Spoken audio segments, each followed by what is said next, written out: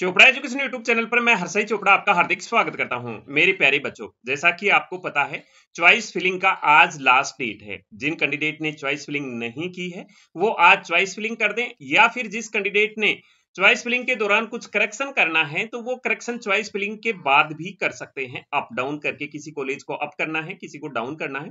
तो इस वीडियो में हम चर्चा करेंगे फ़र्स्ट राउंड प्रोसेस के बारे में कि कब सीट मिलनी है, कब छोड़नी है, उसके बारे में।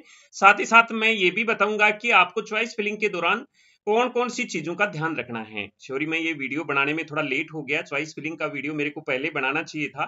लेकिन अभी हम स्टूडेंट्स के चॉइस फिलिंग प्रोसेस पे काम कर रहे थे, इसलिए समय न मिलने की वजह से ये मैं वीडियो बनाने में थोड़ा लेट हो गया।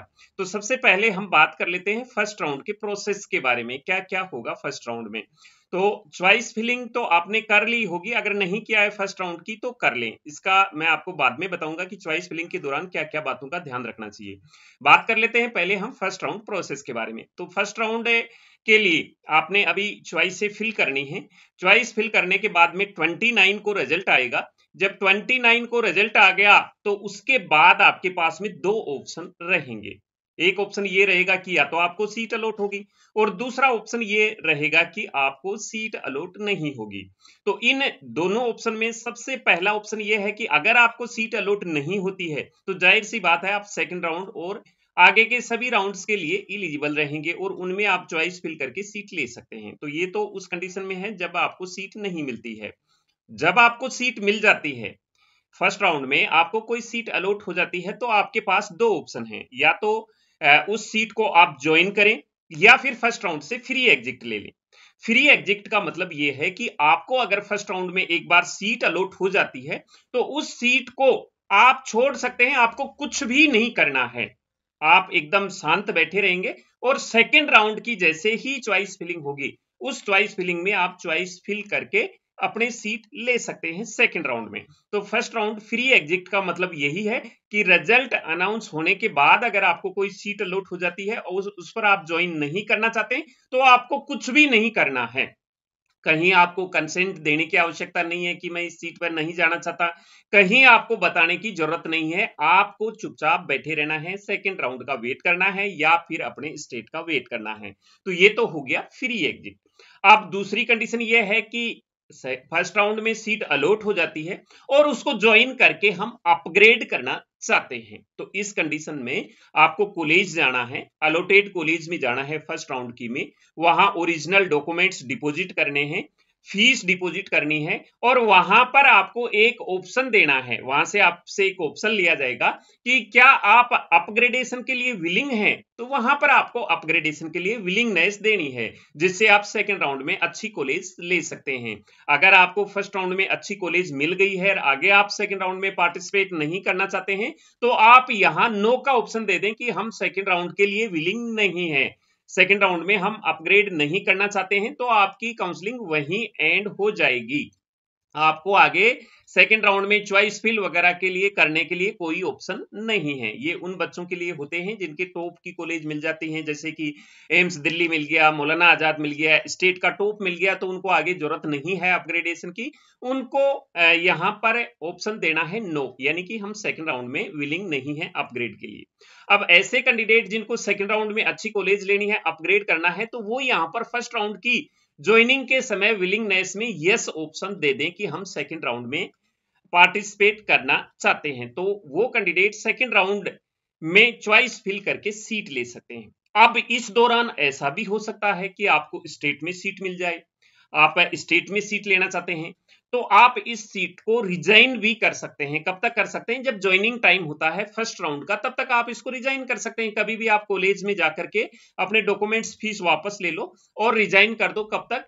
जब तक आपका रिपोर्टिंग टाइम होता है। तो ये तो हो गया फ़र्स्ट राउंड की बात। यानी कि फ़र्स्ट राउंड में आपका सब कुछ कंप्लीट हो गया फ़र्स्ट राउंड का प्रोसेस कंप्लीट हो गया। अब यहाँ दो तीन बातें और आती हैं। दो तीन बात और ये आती हैं कि पिछले साल से पिछले साल एक नया ही रूल आया था, उसमें ये था कि फ़र्स्ट राउंड की सीट है, वो सेकंड राउंड से दो दिन पहले तक आप छोड़ सकते हैं तो वो रूल खत्म हो चुका है। अब जो नया रूल ये है कि आप फ़र्स्ट राउंड में सीट ज्वाइन करनी है सेकंड राउंड में अपग्रेड करना है और मोपअप राउंड में भी सीट अपग्रेड कर सकते हैं। तो इसको देखते हुए वो रूल ऑटोमेटिक खत्म हो चुका है कि आपको सेकेंड राउंड के अलॉटमेंट के दो दिन पहले फ़र्स्ट राउंड की सीट छोड़नी है, नहीं तो आपको सेकंड राउंड के रूल लागू हो जाएँगे। ऐसा रूल था, वो रूल ऑटोमेटिक खत्म हो चुका है। अब रूल क्या है? अब ऐसे कैंडिडेट जो फ़र्स्ट राउंड में ज्वाइन कर चुके हैं और उनके बाद में सेकेंड राउंड में उन कैंडिडेट्स ने सीट फिल की है। सेकेंड राउंड में उन्होंने च्वाइस फिल की है और उनकी च्वाइस अपग्रेड नहीं हुई है। अपग्रेड नहीं हुई है का मतलब जो फ़र्स्ट राउंड की सीट है, वो उन्होंने ले रखी है। सेकंड राउंड में उससे बेटर कॉलेज लेना चाह रहे थे, लेकिन वो नहीं मिली है उसको। लेकिन वो कैंडिडेट ये सोच रहे हैं कि हमें अपग्रेड सीट तो नहीं मिली है, लेकिन कोई बात नहीं, हम फ़र्स्ट राउंड की सीट को भी नहीं रखना चाहते हैं। हम स्टेट में जाना चाहेंगे या फिर हम मोपअप में जाना चाहेंगे, हम ये भी सीट नहीं रखना चाहते हैं। तो ऐसे कैंडिडेट को कोई नुकसान नहीं है किसी प्रकार का। सेकेंड राउंड का जब रिज़ल्ट आ जाता है तो उस सेकेंड राउंड के रिज़ल्ट के दो दिन बाद तक फ़र्स्ट राउंड की सीट को छोड़ सकते हैं। यानी कि जो आपने फ़र्स्ट राउंड की सीट पर ज्वाइन कर रखा है, उसको आप छोड़ सकते हैं। सेकेंड राउंड में सीट आपको अगर अपग्रेड होकर नहीं मिली है तो आपको कोई सिक्योरिटी मनी का नुकसान नहीं है। कोई आप को ऐसा नहीं है कि आप आगे इलिजिबल नहीं रहेंगे, ऐसा भी कुछ नहीं है। सेकेंड राउंड के दो दिन बाद तक आप सीट छोड़ते हैं। एमसीसी तक बाकायदा डेट दी जाएगी कट ऑफ़ डेट की आज, इस डेट तक आप सीट छोड़ सकते हैं, इतने बजे तक छोड़ सकते हैं, तब तक आपको कोई नुकसान नहीं होगा। तो ये रूल एक पहले हुआ करता था और ये अब की बार लागू हो गया है और जो पहले वाला रूल था, वो खत्म हो गया है। अब बात करेंगे हम कि सेकेंड राउंड में फ़र्स्ट राउंड की तो ये सारी कंडीशनें हो गई।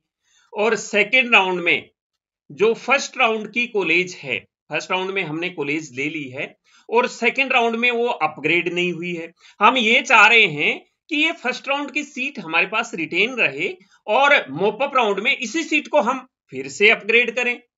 तो क्या ये संभव है? तो ये बिल्कुल संभव है। क्योंकि आपने उस सीट को रिजाइन नहीं करना है सेकंड राउंड के दो दिन के बाद।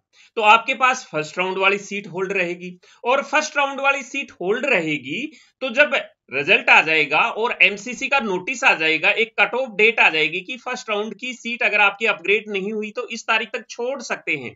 अगर उस तारीख तक आप उस सीट को नहीं छोड़ते हैं तो कोई दिक्कत नहीं है, वो आपकी सेकेंड राउंड की सीट मानी जाएगी। और सेकेंड राउंड की सीट पर आप थर्ड राउंड तक अपग्रेड कर सकते हैं।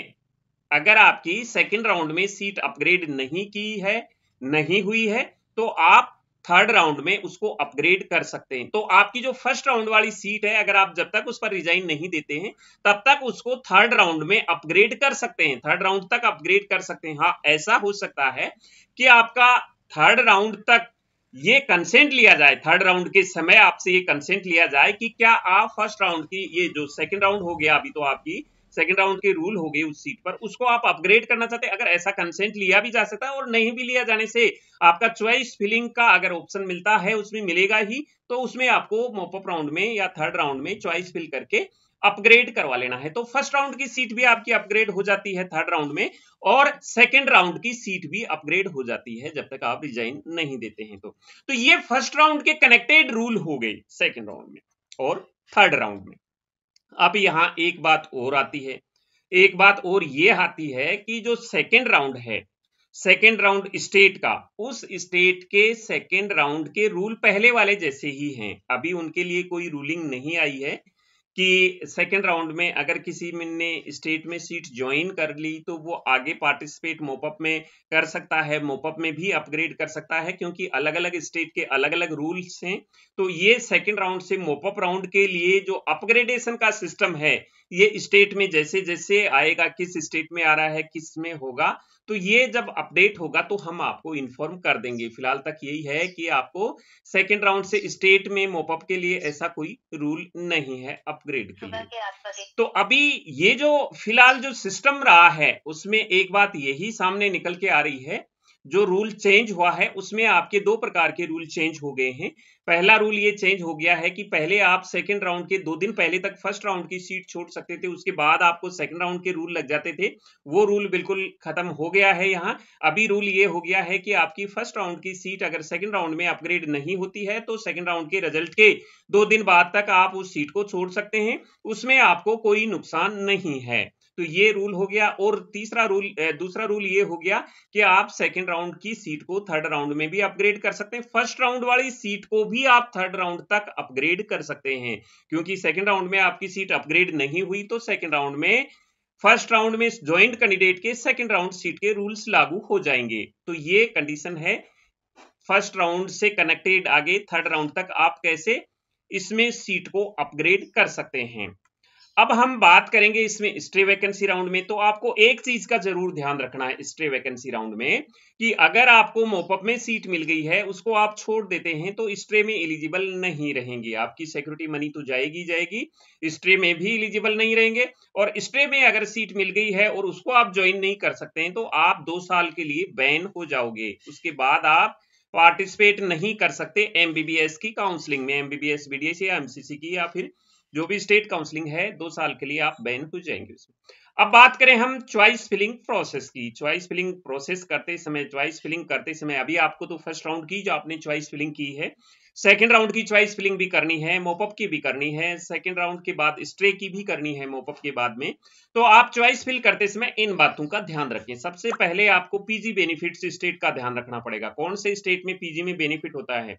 कुछ स्टेट ऐसे हैं जहाँ पीजी में काफ़ी लो कट ऑफ़ जाती है, काफ़ी ब्रांच ऐसी हैं जहाँ उस स्टेट की पीजी में काफ़ी डाउन कट ऑफ़ जाती है तो आपको ऐसा स्टेट चूज़ करना है जिसकी पीजी में कट ऑफ़ काफ़ी डाउन जाती है तो आपको अच्छी ब्रांच मिल सकती है।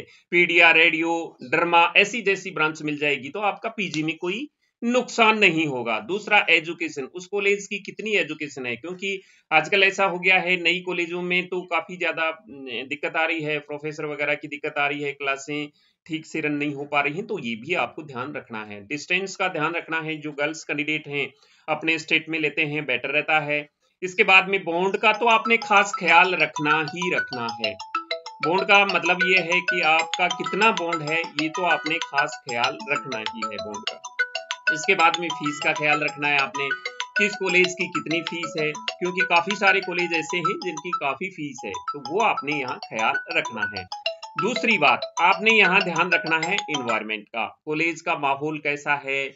जिस कॉलेज में आप एडमिशन ले रहे हैं, किस तरह के कैंडिडेट्स मतलब आपके एरिया की कैंडिडेट्स भी उसमें हैं या नहीं हैं? ओल्ड कॉलेजेस का आपने ध्यान रखना है, उनको पहले प्रेफरेंस देना है। हॉस्पिटल्स उस कॉलेज के साथ में कैसा जुड़ा हुआ है? उसमें कितनी बेडेड फैसिलिटी है?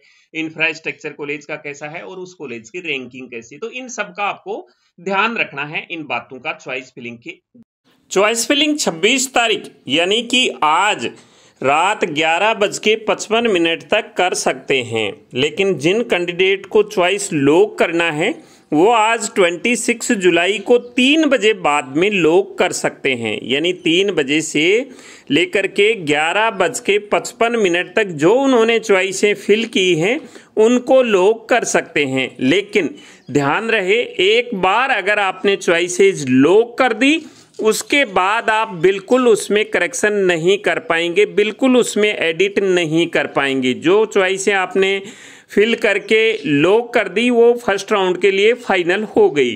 अब अगर कोई कैंडिडेट लॉक नहीं करता है तो ये रात 12 बजे ऑटो लॉक हो जाएँगे। किसी को टेंशन लेने की आवश्यकता नहीं है।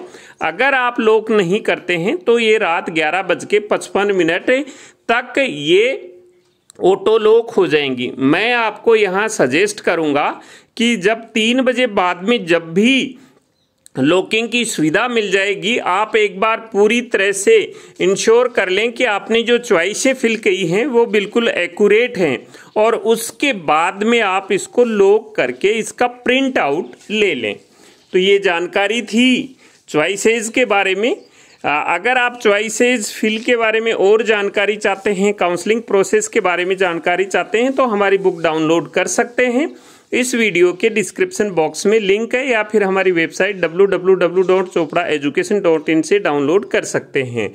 पुराने कॉलेजें इसमें जिस सीक्वेंस से दी गई हैं, उस सीक्वेंस से फिल कर सकते हैं, और न्यू कॉलेज जो बाद में आपको शो हो रही हैं पोर्टल पे, उनको आप नीचे फिल कर सकते हैं। तो ये जानकारी थी चॉइस एज के बारे में। मिलेंगे नई अपडेट के साथ नए वीडियो में। तब तक के लिए जय हिंद।